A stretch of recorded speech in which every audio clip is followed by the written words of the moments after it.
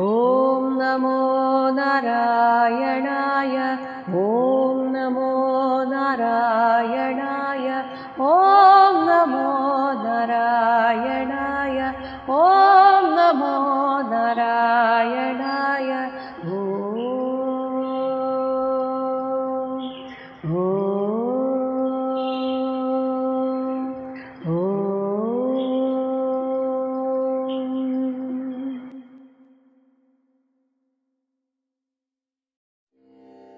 യജ്ഞാദികളായ സ്വകർമ്മങ്ങളാൽ സർവേശ്വരനെ ഭജിക്കുമ്പോൾ ആ കർമ്മങ്ങളും ഭഗവാൻ തന്നെയാണെന്ന് കരുതണം. അതിനായിട്ട് പറയുകയാണ് മുപ്പത്തിനാലാമത്തെ ശ്ലോകം. അസൗ ഇഹ അനേക ഗുണ അഗുണ അധ്വര. അസാവിഹ അനേക ഗുണോ അഗുണോ അധ്വര. പൃഥക് വിധ ദ്രവ്യഗുണക്രിയോക്തിഭിः सम्पद्यते अर्थ आशय लिङ्गनामभिः सम्पद्यते अर्थ आशय लिङ्गनामभिः विशुद्धविज्ञानघनस्वरूपतः അസൗ ഈ സർവേശ്വരൻ സ്വരൂപത യഥാർത്ഥത്തിൽ വിശുദ്ധ വിജ്ഞാനഘനഃ വിശുദ്ധമായ ജ്ഞാനത്തിൻ്റെ ഏകസാരമാണ് അതുകൊണ്ട് തന്നെ ആ ചൈതന്യ സ്വരൂപന് പ്രത്യേകിച്ച് ഗുണങ്ങളില്ല. അഗുണഹ. നിർവിശേഷ നിർവിശേഷണവും ആകുന്നു. എങ്കിലും ഇഹ. ഇവിടെ ഈ ലോകത്ത് നമ്മൾ ഓരോ കർമ്മങ്ങൾ ഭഗവാനെ പൂജിക്കാൻ വേണ്ടി ചെയ്യുന്ന കർമ്മമാർഗത്തിൽ പൃഥകുവിധ പലതരത്തിലുള്ള ദ്രവ്യഗുണ ക്രിയോക്തിഭിഹി ദ്രവ്യങ്ങളെ കൊണ്ട് നമ്മൾ ഭഗവാന് പൂജ ചെയ്യാറുണ്ട്. ഗുണക്രിയോക്തിഭിഹി. ഇവിടെ ഗുണം എന്നതുകൊണ്ട് പല വിധത്തിലുള്ള വർണങ്ങളിലുള്ള നിറങ്ങൾ ഭഗവാന് നമ്മൾ പൂജിക്കാറുണ്ട്. അതുപോലെ ക്രിയ എന്നതുകൊണ്ട് ധാന്യ സംസ്കരണാദി ക്രിയകൾ മന്ത്രോച്ചാരണങ്ങൾ ഇതൊക്കെ പൂജയുടെ ഭാഗമായിട്ടുള്ളതാണ്. ഇവ കൊണ്ടും അർത്ഥ ആശയ ലിംഗനാമഭിഹി നമ്മൾ ഭഗവാന് ഓരോ പൂജ ചെയ്യുമ്പോൾ സങ്കല്പം വയ്ക്കും അതാണ് ആശയം. അർത്ഥം എന്നാൽ പദാർത്ഥ ശക്തി ലിംഗനാമഭിഹി ജ്യോതിഷ്ടോമാദി നാമങ്ങൾ എല്ലാം പൂജയുമായി ബന്ധപ്പെട്ടതാണ്. ഇവ കൊണ്ടും അനേക ഗുണ ബഹുവിശേഷണങ്ങളോടുകൂടിയ അധ്വരഹ യജ്ഞകർമ്മങ്ങളൊക്കെ നമ്മൾ ഭഗവാനു വേണ്ടി സമ്പദ്യത്തെ ചെയ്യാറുണ്ട്. അപ്പോൾ ഭഗവാൻ തന്നെയാണ് കർമ്മമാർഗത്തിൽ പലതരത്തിലുള്ള ദ്രവ്യങ്ങളായും വർണങ്ങളായും ക്രിയകളായും ഒക്കെയായി ഇരിക്കുന്നതും അതേ ഭഗവാൻ തന്നെയാണ് എന്ന് ഇവിടെ പറയുന്നു. അതായത് നിർഗുണനും സച്ചിദാനന്ദ സ്വരൂപനുമായിട്ടുള്ളവനാണ് ഭഗവാൻ. പ്രത്യേകിച്ചൊരു രൂപമില്ല എങ്കിൽ പോലും കർമ്മമാർഗത്തിൽ അനേക വിധത്തിലുള്ള ദ്രവ്യങ്ങൾ ക്രിയകൾ അർത്ഥം സങ്കല്പം നാമഭേദങ്ങൾ മന്ത്രങ്ങൾ ഇവയോടുകൂടിയ യജ്ഞസ്വരൂപനും ആ ഭഗവാൻ തന്നെയാണ്. ഒപ്പം ഇങ്ങനെ ഒരു യജ്ഞം ചെയ്താൽ അതിന് ഫലം തരുന്ന ഫലദാതാവും ഭഗവാൻ തന്നെയാണ്. സർവവും ഭഗവാനാണ് എന്ന് ചുരുക്കം. അസാവിഹാനേക ഗുണോ അഗുണോധ്വര പൃഥഗ്വിധ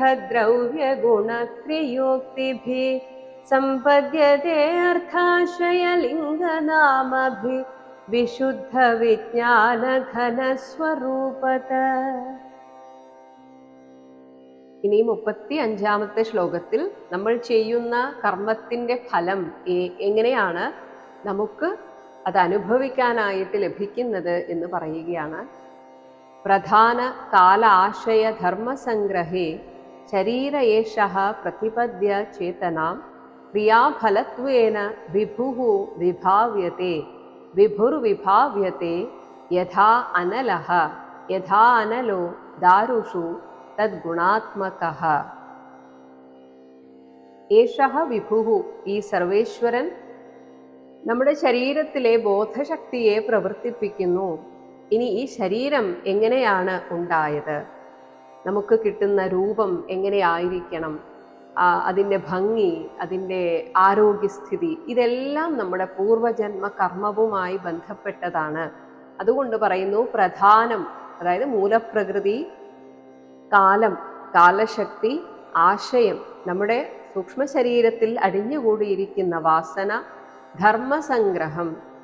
ഈ ജീവൻ എങ്ങനെയൊക്കെയുള്ള വിധി കർമ്മഫലത്തെയാണ് അനുഭവിക്കേണ്ടത് എന്നതിനെക്കുറിച്ച് ഭഗവാൻ ഒരു സങ്കല്പമുണ്ട്.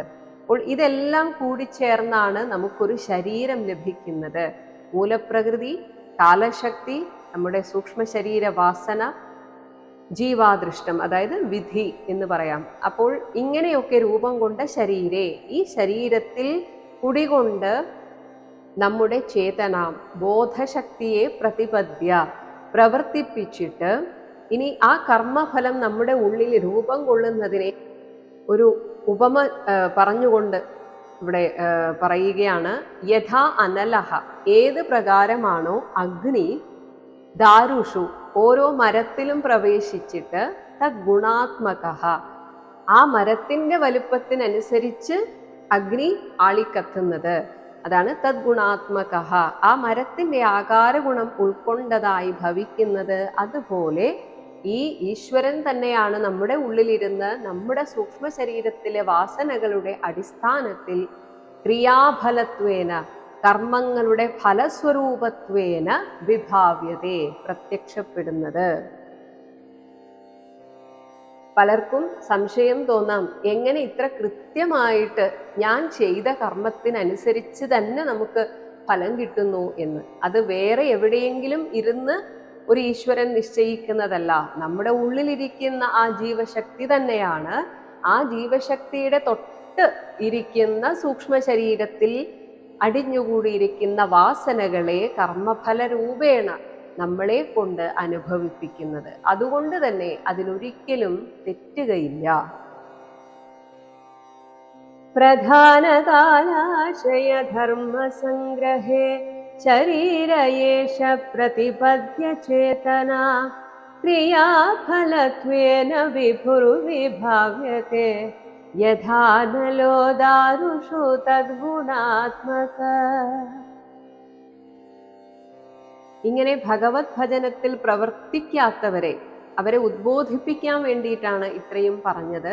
ഇനി അതിൽ ഇപ്പോൾ സ്വയമേവ പ്രവർത്തിച്ചു കൊണ്ടിരിക്കുന്നവരെ അഭിനന്ദിച്ചുകൊണ്ട് പറയുന്നു മുപ്പത്തിയാറാമത്തെ ശ്ലോകം. അഹോ മമ അമി മമ അമി വിതരന്തി അനുഗ്രഹം വിതരന്തി അനുഗ്രഹം ഹരിം ഗുരും യജ്ഞഭുജാം അധീശ്വരം. യജ്ഞഭുജാം അധീശ്വരം സ്വധർമ്മയോഗേന യജന്തി മാമകാ. നിരന്തരം ക്ഷോണിതലെ ദൃഢവ്രതാഹ ക്ഷോണിതലെ ഈ ഭൂമിയിൽ മാമകാഹ. എന്നെപ്പോലെ ഭഗവാനിൽ മനസ്സർപ്പിച്ച അതുകൊണ്ടാണ് എനിക്ക് ചേർന്ന പ്രജകൾ ദൃഢവ്രതാഹ. മനോനിഷ്ഠയോടുകൂടി യജ്ഞഭുജാം യജ്ഞത്തിന്റെ യജ്ഞാംശ ഭുക്കുകളായ ദേവന്മാരുടെ. നമ്മൾ ചെയ്യുന്ന യജ്ഞങ്ങളുടെ അംശത്തെ ഭുജിക്കുന്നത് ദേവന്മാരാണ്. ആ ദേവന്മാർക്കും അധീശ്വരം അധിനായകനും ഗുരും ഗുരുസ്ഥാനത്ത് ആദിഗുരുവായിട്ടിരിക്കുന്ന ഹരിം ഭഗവാൻ ശ്രീഹരിയെ എങ്ങനെയാണ് ഇവരൊക്കെ ഭജിക്കുന്നത്? സ്വധർമ്മയോഗേന. അവനവന്റെ സ്വധർമ്മം വളരെ ഭംഗിയായി അനുഷ്ഠിച്ച് ആ മാർഗത്തിലൂടെ അതും കർമ്മഫലേച്ഛയില്ലാതെ നിഷ്കാമമായിട്ട് നിരന്തരം ഭജന്തി. അങ്ങനെ നിങ്ങളൊക്കെ ഭജിച്ചു കൊണ്ടിരിക്കുന്നു. അഹോ എനിക്ക് എന്തൊരു സന്തോഷമാണെന്നോ. അമി നിങ്ങളിങ്ങനെ ചെയ്യുമ്പോൾ ഇവരൊക്കെ മമ അനുഗ്രഹം. എനിക്ക് നിങ്ങൾ അനുഗ്രഹത്തെ വിതരന്തി. നിങ്ങൾ എനിക്ക് പ്രസാദത്തെ ഈശ്വരപ്രസാദത്തെ വാങ്ങിച്ചു തരുന്നവരായിത്തീരുന്നു. കാരണം നിങ്ങൾ എല്ലാവരും നിങ്ങളുടെ സ്വധർമാനുഷ്ഠാനത്തിലൂടെ ഭഗവാൻ ശ്രീഹരിയെ ഇടവിടാതെ ഭജിച്ചുകൊണ്ടിരിക്കുന്നു. അഹോ മമാമി വിതരന്ത്യനുഗ്രഹം. ഹരിം ഗുരും യജ്ഞഭുജാമധീശ്വരം. സ്വധർമ്മയോഗേന യജന്തി മാമക. നിരന്തരം ക്ഷോണിതലേ ദൃഢവ്രതാഹ. ഇനി രാജാക്കന്മാർ ചെയ്യേണ്ട പ്രധാനപ്പെട്ട ഒരു കാര്യത്തെക്കുറിച്ച് അവരെ ഓർമ്മിപ്പിക്കുകയാണ് മുപ്പത്തി ഏഴാമത്തെ ശ്ലോകം. മാ ജാതു തേജ പ്രഭവേത് മഹർദ്ധിഭി. പ്രഭവേൻ മഹർദ്ധിഭി തിതിക്ഷയാ തപസാ വിദ്യയാച്ച ദേദീപ്യമാനേ അജിത ദേവതാനാം. ദേദീപ്യമാനേ അജിത ദേവതാനാം കുലേ സ്വയം രാജകുലാത് ദ്വിജാനാം.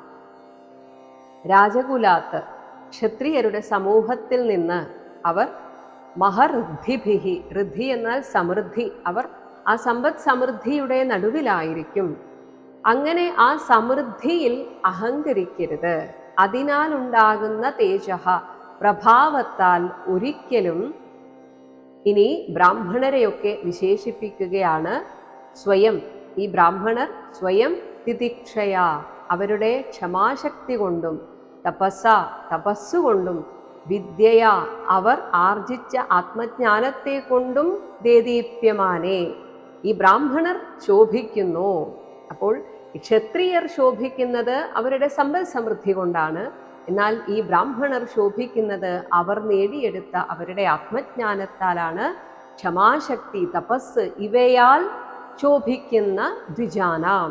ബ്രാഹ്മണരുടെയും അതുപോലെ അജിത ദേവതാനാം അജിതനായിരിക്കുന്ന ആരാലും ജയിക്കാൻ സാധിക്കാത്ത ഭഗവാനെ ആ ഭഗവാനെ സർവേശ്വരത്വേന സമാശ്രയിക്കുന്ന ഭഗവാനിൽ സർവവും സമർപ്പിച്ചിരിക്കുന്ന വൈഷ്ണവരുടെയും ഭക്തരുടെയും കുലേ. ആ സമൂഹത്തിനോട് ജാതു ഒരു കാലത്തും മാ പ്രഭവേത്ത് സ്വന്തം പ്രഭാവം കാണിക്കാൻ പോകരുത്. അതായത് ബ്രാഹ്മണരെയും ഈ വൈഷ്ണവരെയും ഒരു തരത്തിലും ബുദ്ധിമുട്ടിക്കാൻ പോകരുത്.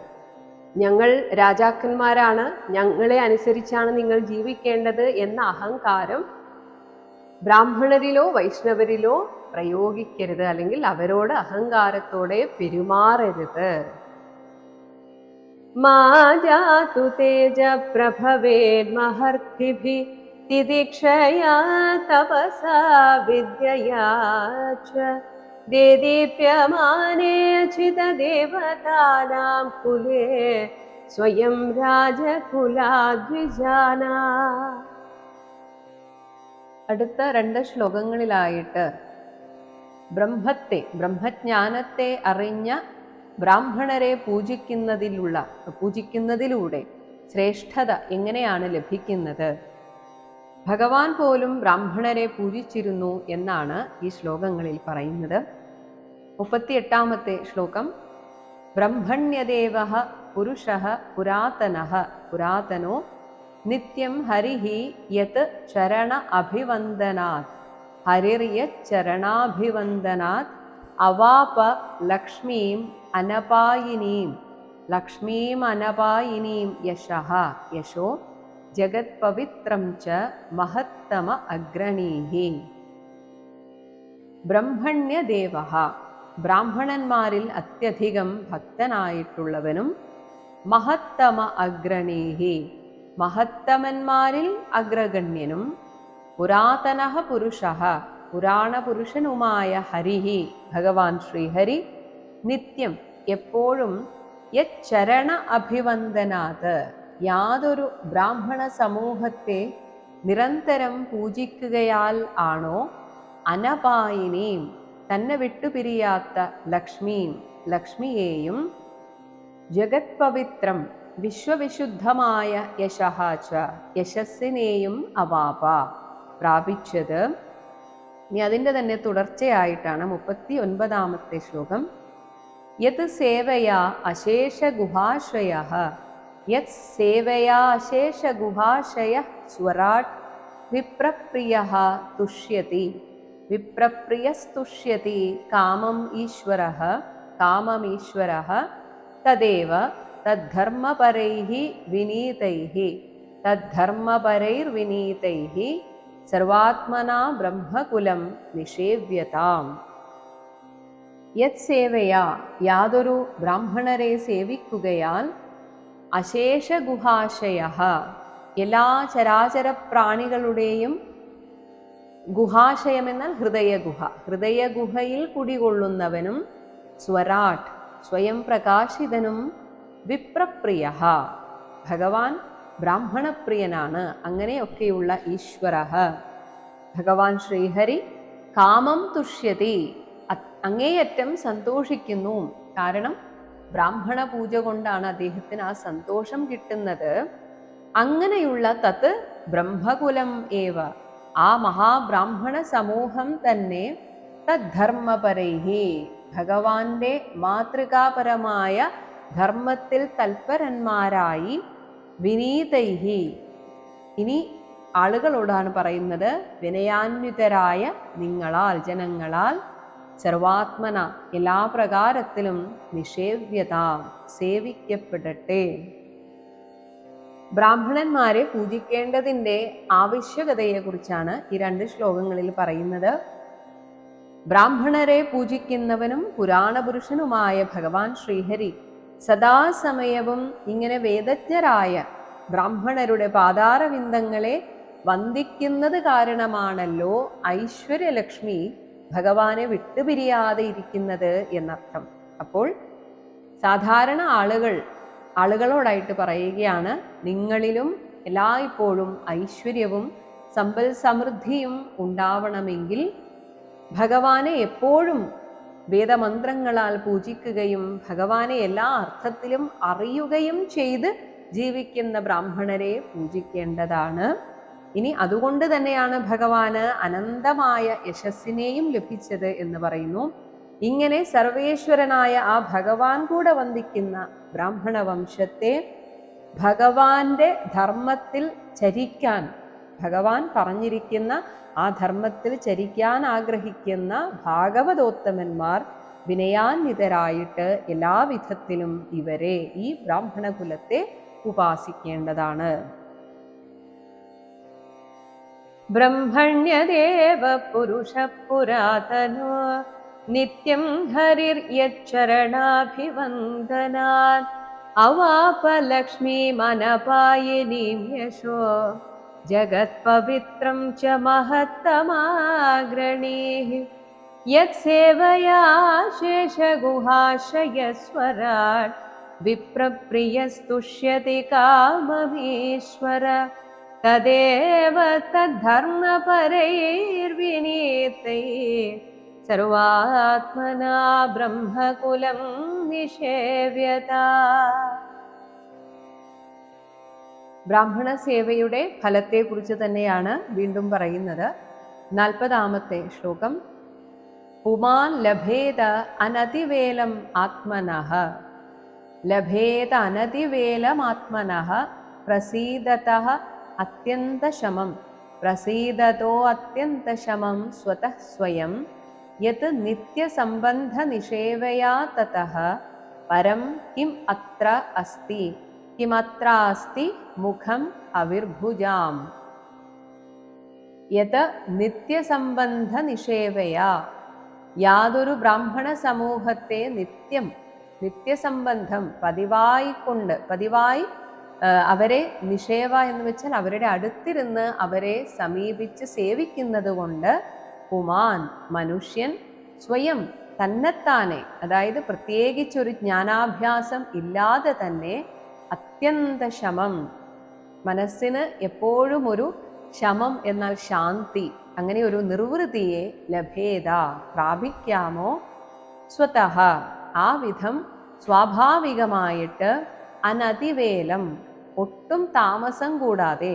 അതായത് ശരിക്കും ഈശ്വരനെ അറിഞ്ഞനുഭവിക്കുന്ന ബ്രാഹ്മണരുടെ അടുത്ത് പോയിരുന്ന് അവരെ സേവിക്കുന്നതിലൂടെ തന്നെ ഒട്ടും താമസിക്കാതെ പ്രസീതത നമ്മുടെ മനസ്സ് പ്രസാദാത്മകമായി തീരുന്നു അങ്ങനെ തെളിവാർന്നു വരുന്ന ആത്മനഹ നമ്മുടെ മനസ്സിനേക്കാളും തതപ്പരം അതിലും ശ്രേഷ്ഠമായിട്ട് അവിർഭുജാം മുഖം ദേവന്മാരുടെ മുഖം. അതായത് നമ്മൾ ഒരു യജ്ഞകർമ്മം ചെയ്യുമ്പോൾ ഈ ദേവന്മാരുടെ മുഖപ്രസാദത്തിനായിട്ടാണ് നമ്മൾ യജ്ഞം ചെയ്യുന്നത്. അവർ പ്രസാദിച്ചാൽ നമ്മുടെ ചിത്തം പ്രസാദിക്കുമെന്നാണ് അർത്ഥം.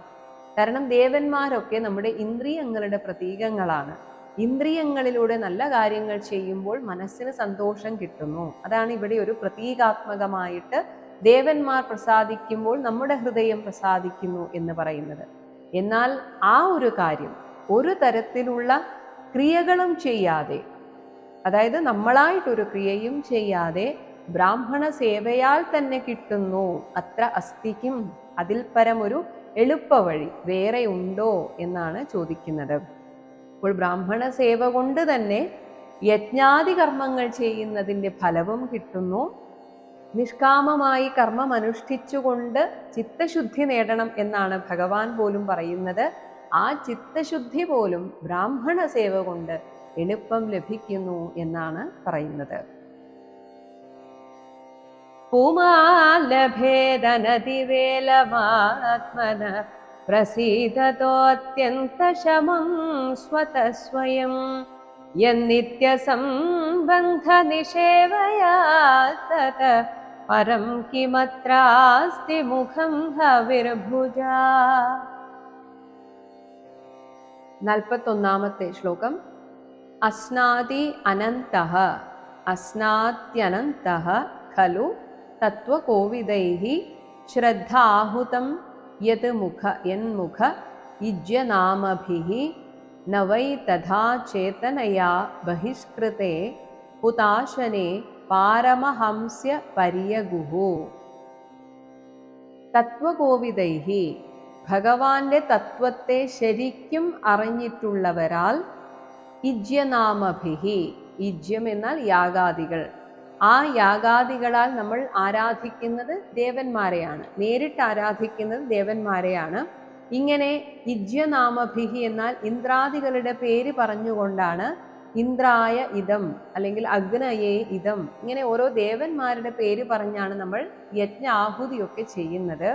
ഇങ്ങനെ പേരുകൾ കൊണ്ട് യൻമുഖേ അതേസമയം നമ്മൾ ആ ബ്രാഹ്മണരുടെ മുഖത്തിൽ എന്നാൽ അവർക്കായിട്ടാണ് നമ്മൾ ഭക്ഷണമോ വസ്ത്രമോ ഒക്കെ കൊടുത്ത് അവരെയാണ് നമ്മൾ പ്രസാദിപ്പിക്കുന്നതെങ്കിൽ അങ്ങനെ ശ്രദ്ധാഹുതം. ശ്രദ്ധയോടുകൂടെ ഈ ബ്രാഹ്മണർക്ക് അർപ്പിക്കുന്നതിൽ അനന്തഹ അനന്തനായിരിക്കുന്ന ആ ഭഗവാൻ അശ്നാദിഖലു ഭഗവാൻ തന്നെയാണ് അത് ഭക്ഷിക്കുന്നത്. കാരണം വിരാട് പുരുഷ വർണനയിൽ പറയുന്നുണ്ട് ഭഗവാന്റെ മുഖമാണ് ബ്രാഹ്മണർ.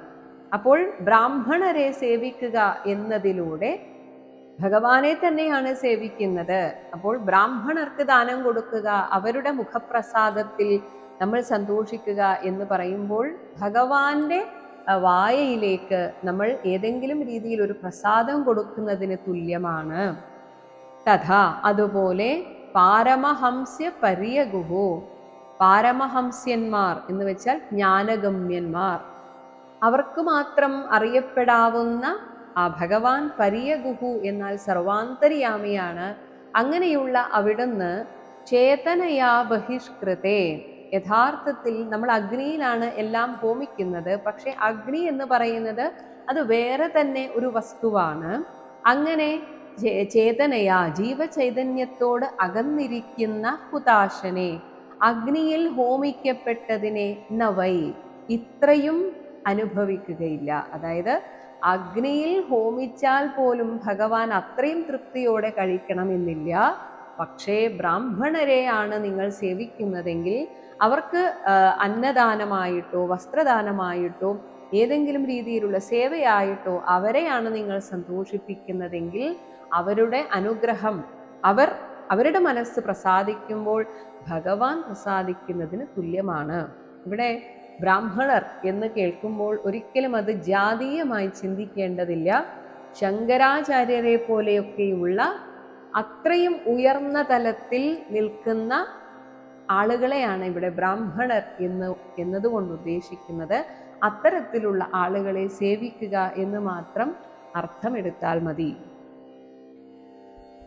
അസ്നാത്യനങ്ക ഖലു തത്വകോവിദയേ श्रभूतं यन्मुख इज्यनामभि न वै तथा चेतनया बहिष्कृते हुताशने पारमहंस्य पर्यगु ഹരേ രാമ ഹരേ രാമ ഹരേ രാമ രാമ ഹരേ കൃഷ്ണ ഹരേ കൃഷ്ണ ഹരേ കൃഷ്ണ കൃഷ്ണ ഹരേ രാമ ഹരേ രാമ ഹരേ രാമ രാമ ഹരേ കൃഷ്ണ ഹരേ കൃഷ്ണ ഹരേ കൃഷ്ണ കൃഷ്ണ ഹരേ രാമ രാമ ഹരേ കൃഷ്ണ കൃഷ്ണ ഹരേ രാമ രാമ ഹരേ കൃഷ്ണ കൃഷ്ണ